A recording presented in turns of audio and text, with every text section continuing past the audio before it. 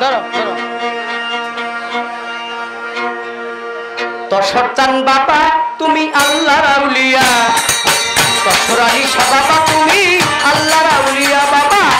দরবারে এসেছি আমি, ভিখারি হইয়া। দরবারে এসেছি আমি, ভিখারি হইয়া।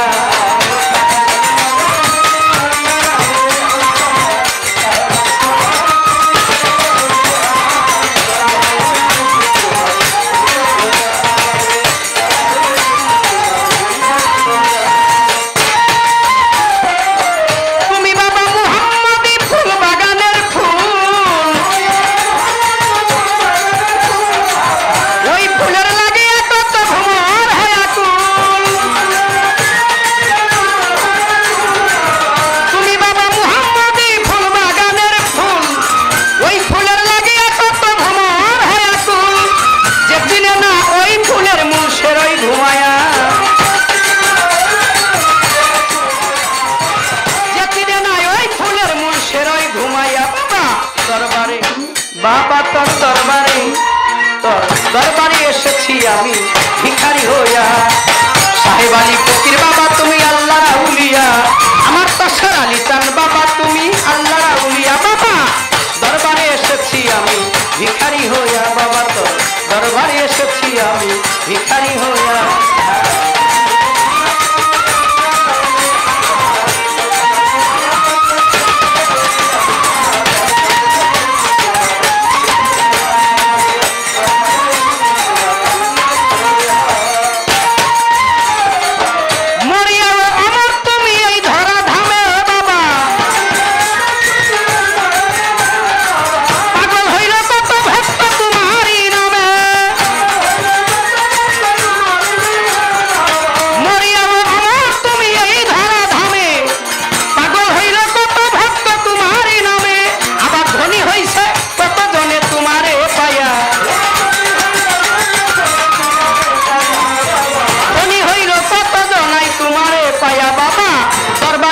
এসেছি আমি ভিকারি হইয়া।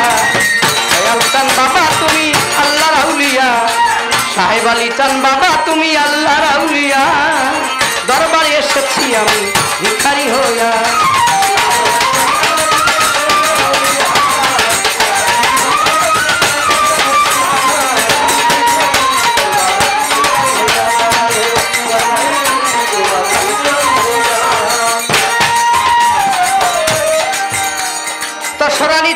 বাবা তুমি আল্লাহ রাউলিয়া আল্লাহ বলেন, যদি কোনো মানুষ এই জাগতিক জগতের চিন্তা ভাবনা ছেড়ে আমার চিন্তা ভাবনায় মশগুল থাকে, তাহলে ওই মানুষটা অন্যান্য দশজন মানুষের চাইতে আলাদা একটা মানুষ হয়ে যাবে। ওই মানুষটাকে, ওই মানুষটা হয়ে যায় অলি, আর আমি হলাম আল্লাহ। আল্লাহ পাক পবিত্র কোরআন শরীফের মধ্যে ঘোষণা করলেন, আমাকে ডাকতে ডাকতে যে ব্যক্তি আমার জাতের সাথে মিশে যা আমি আল্লাহ নিজেই তার হয়ে যাই।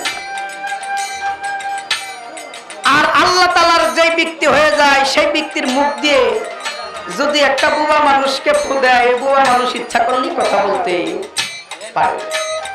যদি একটা ল্যাংরা মানুষকে একটু ছোঁয়া দেয়, ওই মানুষ আল্লাহ রহমত হইলে সেই মানুষ ল্যাংরা থেকে ভালো হইতে পারে।